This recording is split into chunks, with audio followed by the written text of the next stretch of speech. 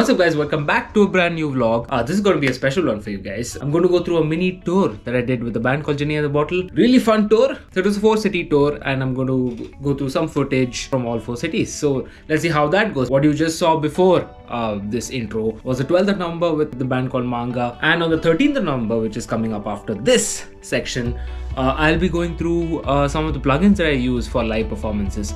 So let's go through that and then we're going to jump to the mini tour go through some uh, performance footage some nonsense footage goofing around footage. All of that is included in this. Hope you guys have fun and um, maybe even learn something from what we go through as a live uh, sound engineer and as just musicians and uh, creators in general. So i'll see you guys soon.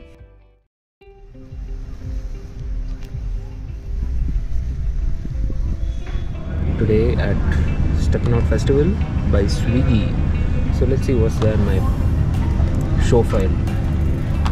So my FX, I'm using the usual revive this stuff. For the kick, we'll be going with the smack and maybe a C4. we have to start sound check, so let's see how that goes. The snare we have the VEQ for some bottom end 180-ish and maybe an R compressor. I have my shout here, shout box for just listening to the artist on stage. Stage is over there. You know what happened? While coming back from uh, Delhi, no?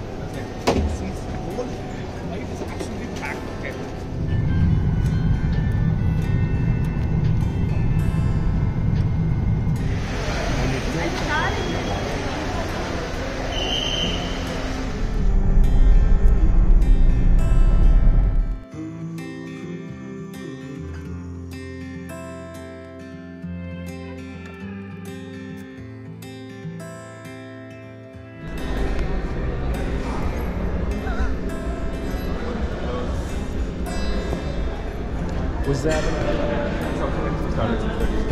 We can check in, yes. I'm good. Ooh, okay. What do I mean when I say I'm good? So basically, I ask for a console or two that are usually commonly available with sound vendors in different cities. In most cases, I ask for uh, a DigiDesign or Avid SC48. Quite an old console actually in this day and age, but it's not very expensive to rent by the event companies and all of that. Also, it is available in most cities. Also, an added advantage is I can use my Waves plugins, which uh, is awesome. Not that you can't use plugins in other consoles, but it's just a lot more simpler in uh, this console to kind of get going with it. The reason I ask for these consoles is I have a preset or show file on a pen drive or a USB drive, load it onto the console, and basically save a lot of time because there are a, a lot of moves that you do in a live show which are very repetitive and you keep doing that show after show after show. So why not just you just have to download an offline editor for each console, create these settings. What does the show file contain? The show file contains all your settings basically EQ, compression, uh, sends to their in-ear monitors. Uh, everything that you need. Uh, stuff like uh, the plugins that you use your, your settings on your plugins all of that. This information is known among sound engineers but this information will be useful if you're maybe getting into the whole live sound scene and uh, all of that. Just remember if you have a show file it'll just make your life a little bit more easier and save time. What you achieve by saving time is giving the musicians peace of mind. That is one of the most important things that i have learned makes for a better show. The calmer the musicians are or the artists are on stage before a show the better in general everything goes your job as a live sound engineer is not just uh, making sure that they sound good also to make sure that they do not have to worry about anything other than their job which is to play make stuff work make stuff happen make them sound good and that's what you're hired for You guys checked? No, no. Just So yeah, just My bass was in uh, your room also. yeah yeah It took me a while to convince those guys to open it and Got kiss it. yours. Yeah. how is this but this is mad very, very flat. Nice cable. Yeah. Which one is this? Which company? Moon Rock. Bro, it's too. No, it as in, uh, it's all flat, bro. Okay. Flat. So yeah, whatever effect that you yeah. give, no. Yeah, yeah. I can, can hear, hear the effects. I'm like, oh. Nice.